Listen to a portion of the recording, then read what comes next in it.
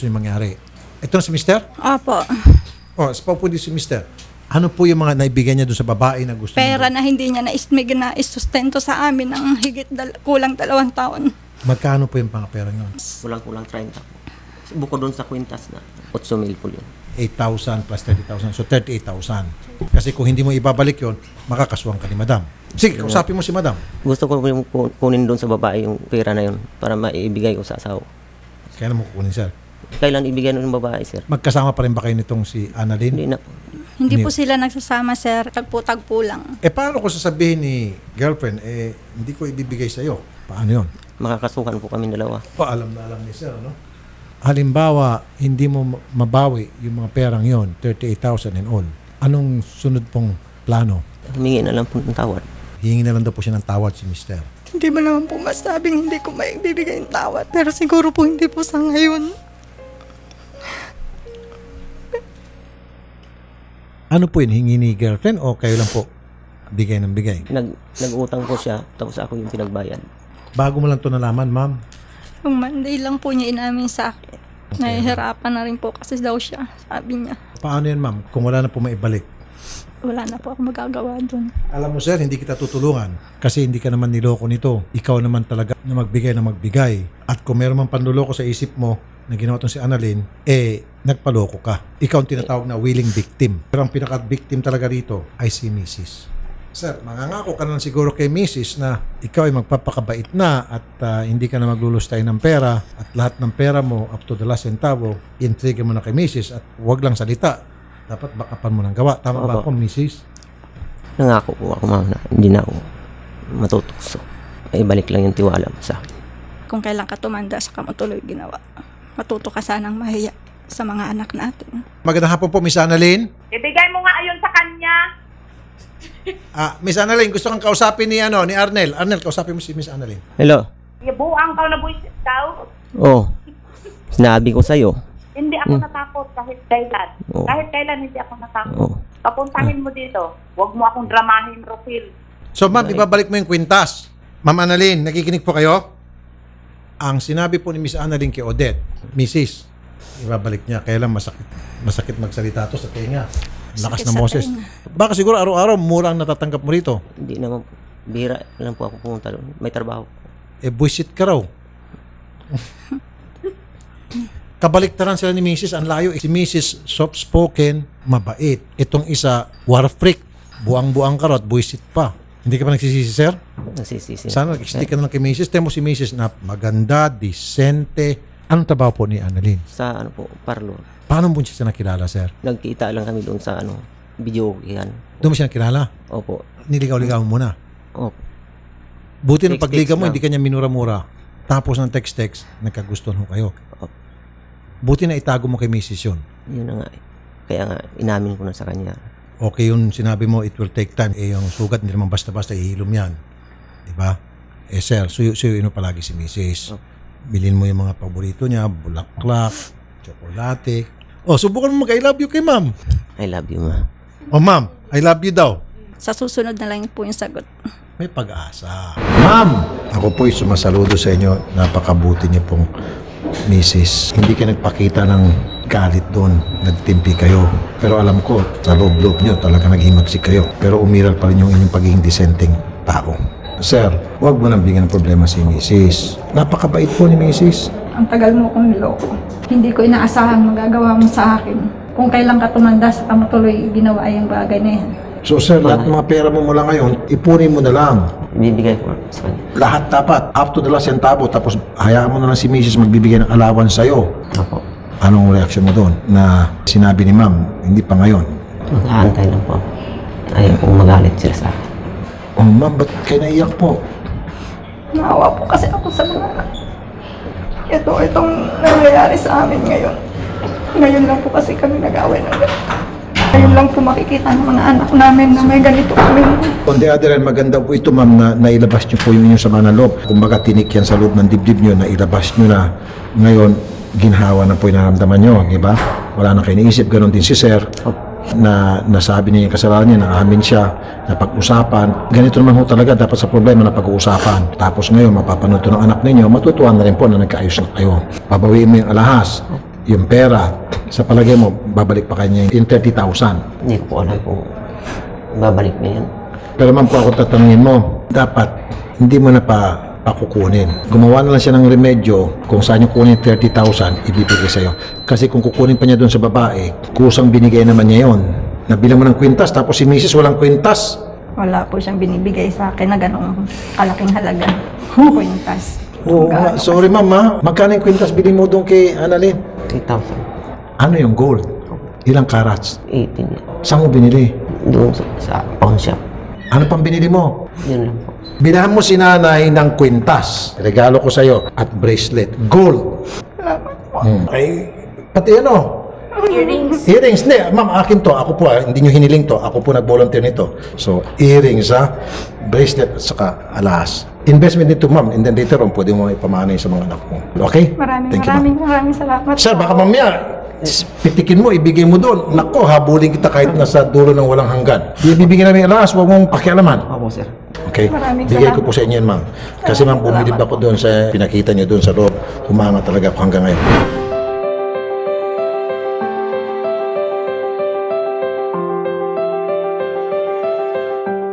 So, masaya po ba kayo na bibigyan kayo ni Idol Rafi ng regalo? Masayang masaya po. Ready ka na bang mamili?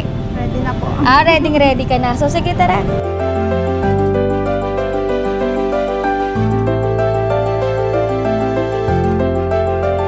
Idol Rafi, oh, tignan nyo, ang daming gaganda po. Ang hirap mamili pag ganito karami pagpipilian.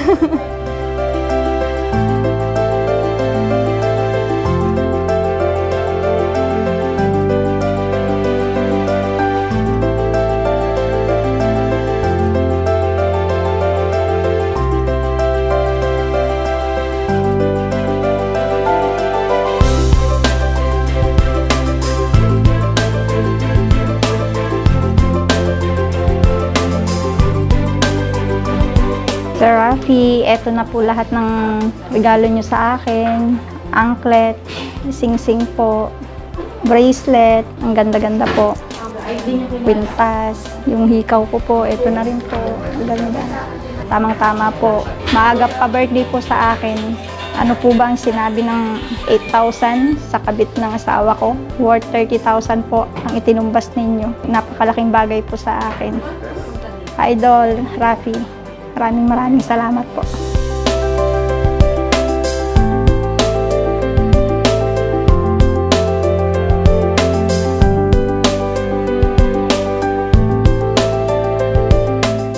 Maliban dun sa mga regalo ho niya sa inyo na alahas, papauwihan siya po kayo. So, para makapag-relax po kayo. Gusto rin ni Idol Rafi na mabilhan ka ng magagandang damit. O, bakit ka naluha? Hindi ko kasi matanggap kasi talaga na niloko ako. Kung kailan kasi tumanda kami, malalaki ng mga anak namin eh. Sa katuloy niya ginawa. Kaya hindi ko talaga matanggap. Tara na po at magpawensya na tayo.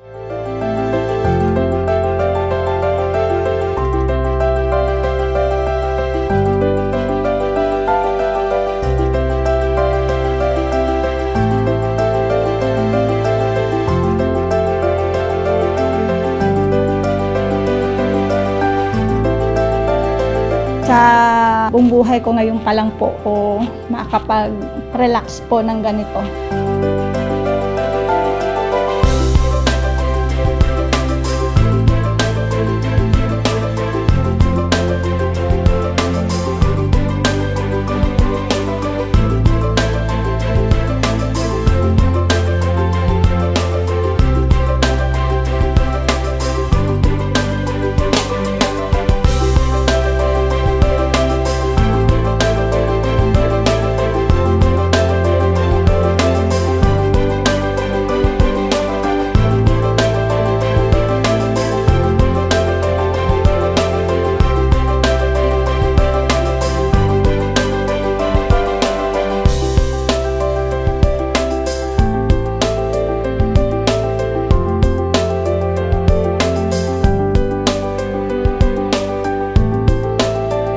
Na yung mga binili nating alahas kay ma'am. Opo. Wow! Naku, merong magsiselos dito. Pag napanood ito. Wait, shoot na natin, ma'am. Sige, shoot si mister. 18 carats yan, ano. Ayan, sinusuot ni ma'am yung kanyang earrings. Ang kintab-kintab naman. Okay. Ngayon, yung kwintas. Agang, ano po, pa-birthday at papasko na rin. Oh, kailan birthday niyo, ma'am? September 23 po. Malapit-lapit na. Anklet, lagay din natin. Kompleto recados na yan, ha? Covered na lahat. Ayan, okay. Ayan. Natin. Ang ganda po, sir. Ayos, oh. Kita nyo yan. Maraming salamat po. Oh, di ba? Bagay na bagay sa inyo, ma'am. Kumusta na po kayong dalawa? Nakakausap na po namin kahapon yung mga anak namin. Okay, ano po sabi ng mga bata? Mababait po talaga sadya yung mga anak po namin kaya naayos naman po namin. Umuti naman yung mga bata maunawain. Siyempre, ang gusto po ng mga anak na kayo po ay magkabati, Opo. happy family. Sir, ano masasabi mo kay ma'am? Sana mapatawad niya ako. Ibalik niya yung tiwala sa akin. Tsaka yung mga anak ko, salamat sa ano, pagpapatawad sa akin. Matapos kayo mag-usap ng anak nyo, ano naman po yung naging reaction nyo? Natuwa dahil ganun po kalawak yung mga isip nila, yung pangunawa nila sa, sa papa po nila. Sir, anong pangalan ulit nung girl? Annalyn Lamila po. So, hindi na kayo nag-usap ni Annalyn simula nung punta kayo dito. Yung anak na lang po nagkipag-usap sa akin. Anong sabi ng anak? Ibabalik na nga nila, parang wala nang ano, wala nang gulo. Kayo ba sir, humingi na ng sorry kay ma'am? Oo, umiyak na po. Okay, sige.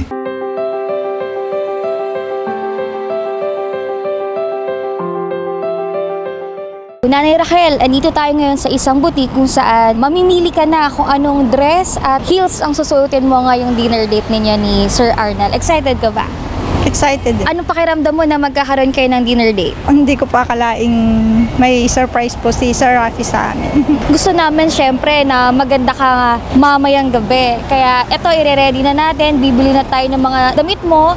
At mamaya na rin, imi-makeover ka na rin sa Hector Salon. Okay ba yun sa'yo? okay po. Okay, sige tara, pasok tayo.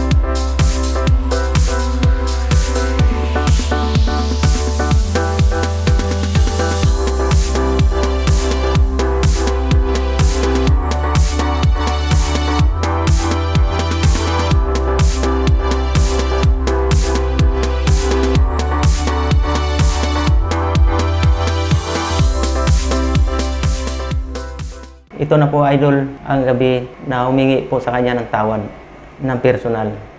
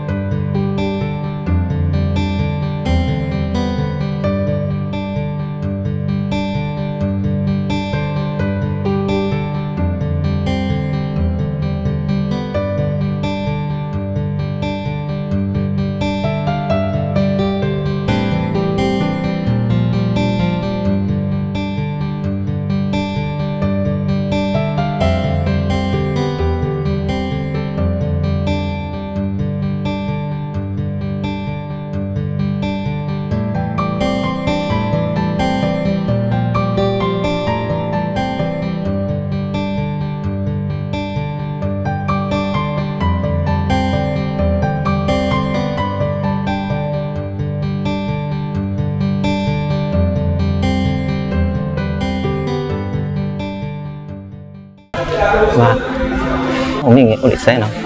Patawad. Sana mo, patawad niyo ako. Po.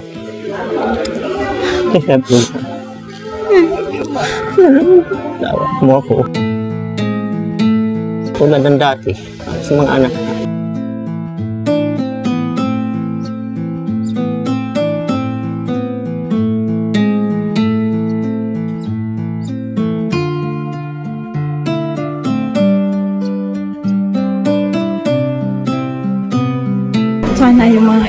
Init ng ulo mo minsan-minsan.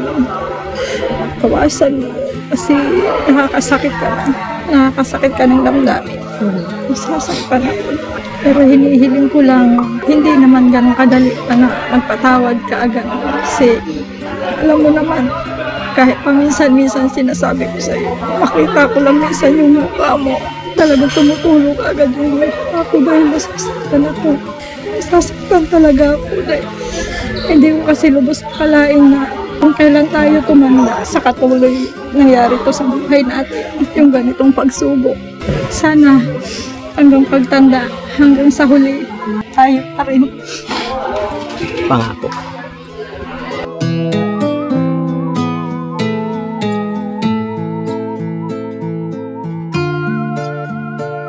Napatawad kita pa. Kasi mahal kita eh. Mahal kita pa. Kaya hindi pwedeng hindi kita patawarin. Salamat. Hanggang sa huli tayo pa rin pa.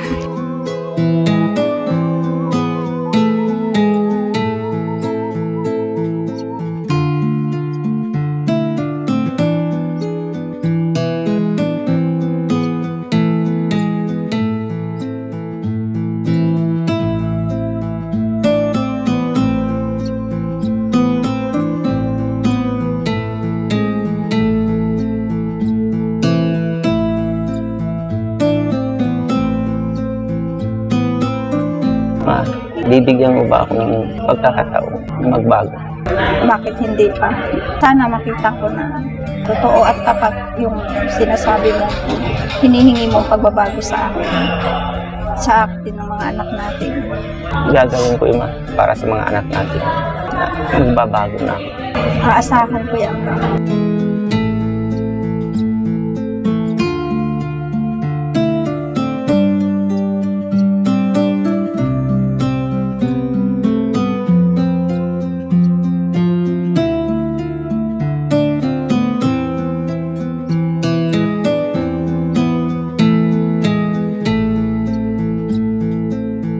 Idol Rafi, maraming salamat po at nagkayos na po kami ng aking asawa. Nangako naman po siya na gagawin po niyang lahat para po maging masaya po ang pamilya namin. Maraming salamat po. Nangako naman po ako sa kanya na magbabago na po ako. Maraming maraming salamat po sa inyong pagtulong sa akin.